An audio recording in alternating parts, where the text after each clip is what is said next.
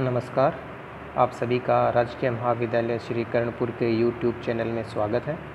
आज हम बी तृतीय वर्ष के द्वितीय प्रश्न पत्र, भारत का भूगोल में, भारत के हिमालय के महान और लघु हिमालय के बारे में चर्चा करेंगे। इससे पहले वाले वीडियो में हमने भारत के जो भौतिक विभाग थे, उनके बारे में हल्की सी चर्चा की कि उत्तर में महान हिमालय उसके दक्षिण में उत्तरी का विशाल मैदान और उसके दक्षिण में प्रायद्वीप का पठार। प्रायद्वीप पठार के दोनों ओर पूर्वी तटीय मैदान और पश्चिमी तटीय मैदान। हिमालय पर्वतमाला के उत्तर में है तिब्बत का पठार।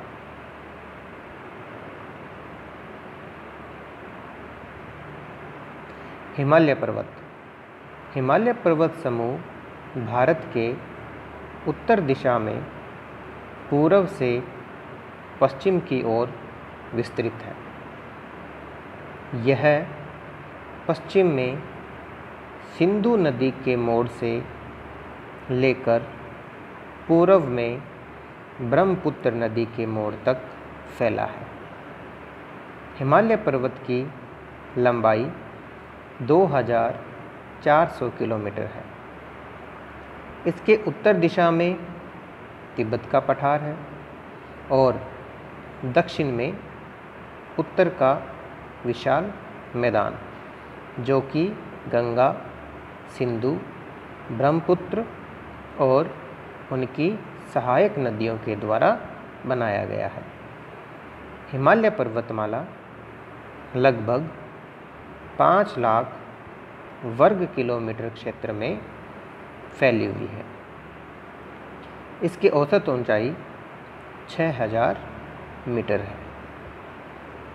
हिमालय पर्वत का भौगोलिक वर्गीकरण, जो कि आज का हमारा मुख्य बिंदु है, वृहत हिमालय और लघु हिमालय।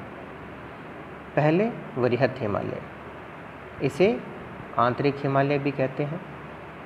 यह सबसे ऊँची पर्वत श्रेणी है।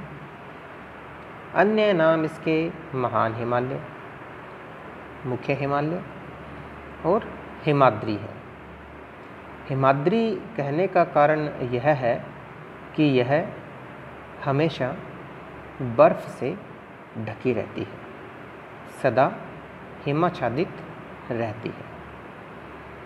यह सिंधु नदी के मोड़ से ब्रह्मपुत्र नदी के मोड़ तक 2400 किलोमीटर की लंबाई में फैली हुई है। चौड़ाई इसकी 25 किलोमीटर है। औसत ऊंचाई 6000 मीटर। वृहत हिमालय का जो सबसे ऊँचा भाग है, वह इसके मध्य भाग में है, जो कि नेपाल देश में स्थित है। वृत्त हिमालय की प्रमुख चोटियाँ माउंट एवरेस्ट। इसकी ऊंचाई 8,850 मीटर। दूसरी ऊँची चोटी कंचनजंगा आठ हज़ार पाँच सौ अठानवे। भारत में जो सबसे ऊँची चोटी है वो कौन सी है? हिमालय की पूर्वी हिमालय में महान हिमालय हिमाद्री हिमालय जो भारत का भाग है, वह है कंचनजंगा। जो ट्रांस हिमालय था, उसमें हमने परिचय में पढ़ा था कि जो माउंट के टू है, वह विश्व की सबसे दूसरे नंबर की ऊँची चोटी है और भारत में स्थित है। लेकिन वह पाक अधिकृत कश्मीर में होने के कारण कंचनजंगा को भारत की मुख्य भूमि का सबसे ऊँचा स्थान माना जाता है। मकालू आठ हज़ार चार सौ इक्यासी मीटर, धोलागिरी आठ हज़ार एक सौ बहत्तर मीटर सौ छप्पन मीटर। ये मुख्य पर्वत चोटियाँ हैं। वृहत हिमालय दुर्गम श्रेणी है, अर्थात यहाँ पर आवागमन करना या यहाँ पर पहुँचना बेहद ही मुश्किल है। और इसे पार करने हेतु दर्रों की सहायता ली जाती है। दर्रे ऐसे स्थान होते हैं जो कि दो ऊँचे स्थानों के मध्य एक नीचा स्थान, जिससे कि यातायात किया जा सके।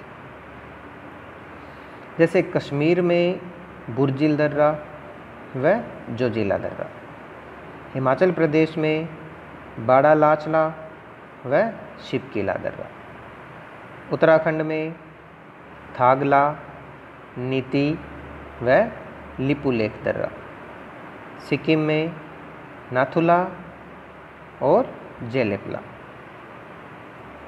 अब बात करते हैं लघु अथवा मध्य हिमालय।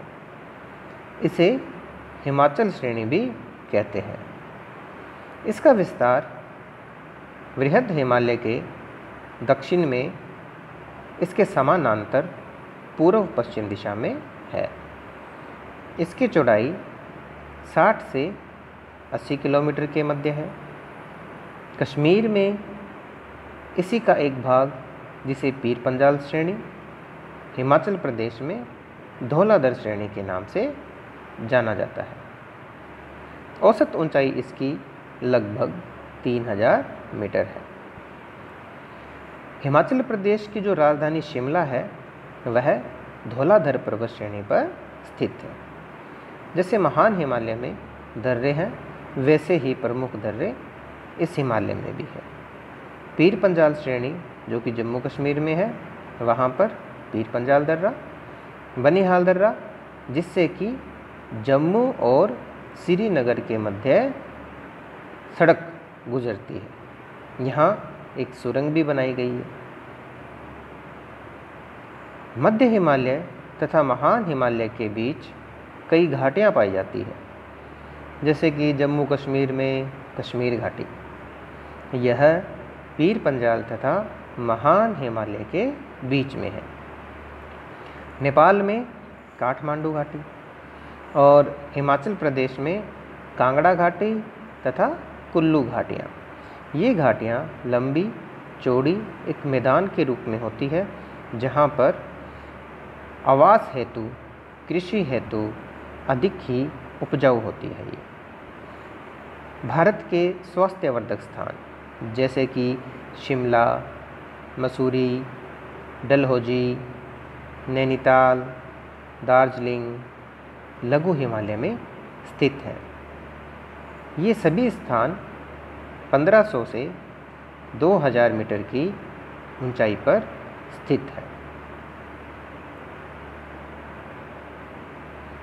इस मानचित्र से हम वृत हिमालय, लघु हिमालय और शिवालिक को देखते हैं।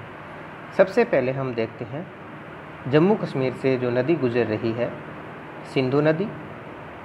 फिर उसी के पास से जो नदी गुजर रही है, सतलज नदी। सिंधु नदी के विपरीत दिशा में जहाँ से उद्गम होता है सिंधु नदी का, वहाँ है ब्रह्मपुत्र नदी। अब जब जम्मू कश्मीर के मानचित्र में हम देखते हैं तो एक लाल रंग की रेखा है, जो कि जम्मू कश्मीर से हिमाचल प्रदेश, उत्तराखंड, नेपाल, भूटान, अरुणाचल प्रदेश तक जाती है। ये महान हिमालय है।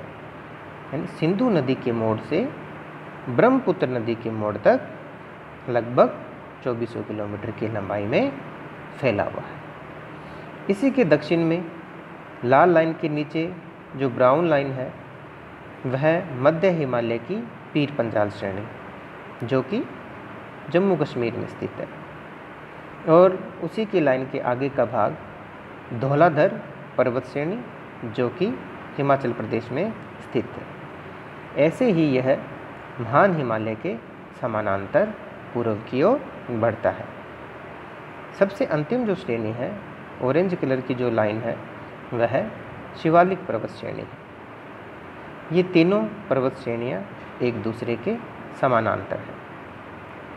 काले लाइन की जो बराबर का निशान दे रखा है, वह जम्मू कश्मीर में, जो जिला दर्रा, हिमाचल प्रदेश में, बाड़ा लाचला दर्रा और सतलज नदी के पास जो बराबर का निशान है, उसमें शिपकिला दर्रा ऐसे ही उत्तराखंड में थागला, लिपुलेख दर्रे और आगे की ओर बढ़ते हैं।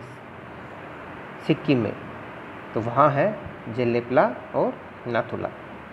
उत्तराखंड में थागला और लिपुलेख, हिमाचल में शिपकिला, बड़ा लाचला और जम्मू कश्मीर में जो जिला, ये दर्रे स्थित हैं। नेक्स्ट वीडियो में हम शिवालिक और इसकी बाकी की जो बची हुई पर्वत श्रेणियाँ हैं, उनके बारे में चर्चा करेंगे।